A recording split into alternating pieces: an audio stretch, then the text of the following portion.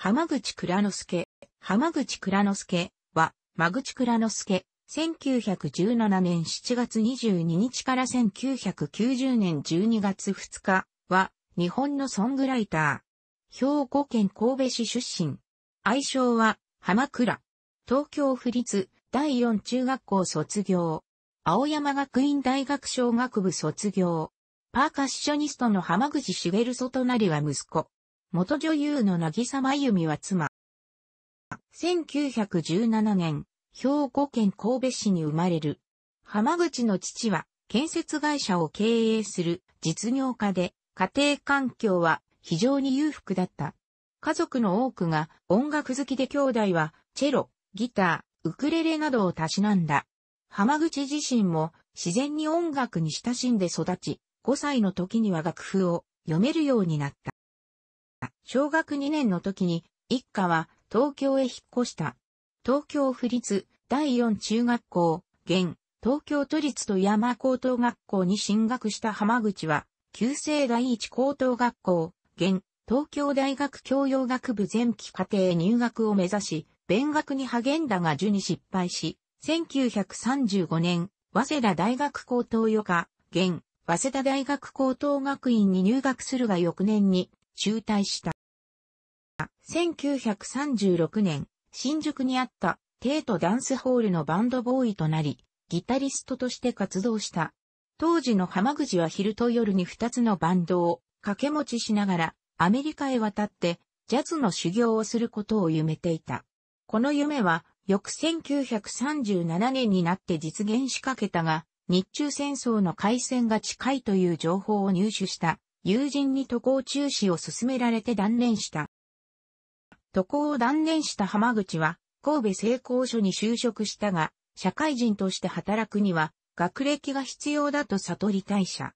1939年に青山学院高等小学部、現青山学院大学経営学部に入学した。当時の浜口はギター講師やスタジオミュージシャンをして生活費を稼ぐ傍ら、大学内で立教大学や慶応義塾大学など他大学の学生と一緒に、堂々フライアンという名のバンドを組んで、活した。1942年9月に、青山学院高等小学部を繰り上げ卒業した浜口は、ジャワ島で農園を委託経営する会社に就職し、同島のマランへ赴任した。浜口は終戦まで同地に勤務し、商社の仕事の他に、軍の依頼で現地の住民に歌を通して、日本語教育を行う仕事も任された。太平洋戦争終結後捕虜となり、1946年5月に引き揚げ、東京でバンドを組み、進駐軍を相手に演奏を行った。その後、灰田勝彦の誘いを受けて灰田がメンバーを務めるハワイアンバンドのメンバーとなったり、自らもスイングサーフライダーズやアフロクバーノを結成して音楽活動を続ける。1950年結婚、数を数めを設ける。長男はスタジオミュージシャンでラテンパーカッショニストとして日本屈指の存在である浜口茂祖となり、浜口倉之助とアフロクバーノとしては1953年から1955年まで3年連続で NHK 紅白歌合戦に出場した。第4回、第5回、第6回を参照。1957年、新宿駒劇場で公演を行った海外の舞踊団が郷土の芸術をお見せできるのは光栄なことと挨拶したのを見た浜口は外国の音楽を演奏するのではなく日本の曲を創作することこそが要だと認識するようになり、バンドを解散、歌手活動を停止し、作詞家、作曲家へ転向。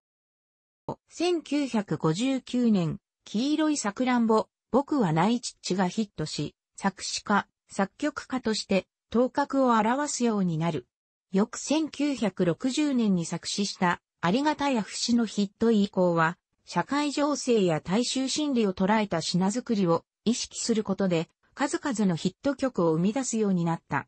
また、ありがたや節を題材にした日活映画、ありがたや節やありがたや、ありがたやにも出演している。1960年代には、数々のヒット曲を出し、ヒットメーカーと呼ばれるようになる。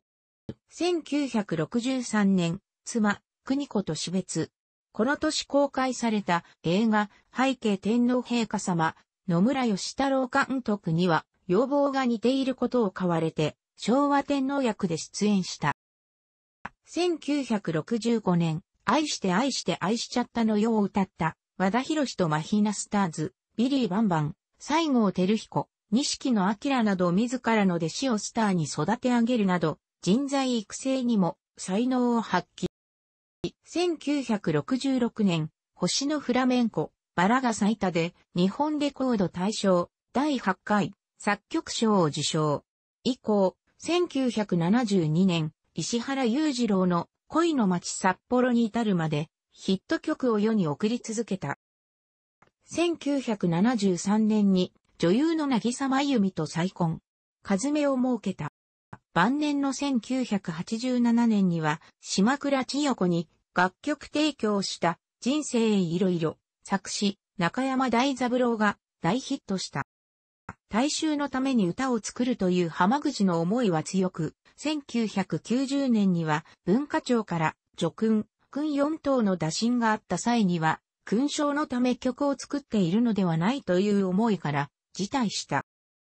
1990年12月2日、高等癌のため、癌研究会附属病院にて逝去。クリスチャンであったため、葬儀は東京都千代田区飯田橋の富士見町教会で営まれた。同作の主題歌を担当していた桑田が浜口を演じ、桑田自らギターを演奏して、有村か純ら他のキャストたちと、涙くんさよならを歌唱。楽しくご覧になりましたら、購読と良いです。クリックしてください。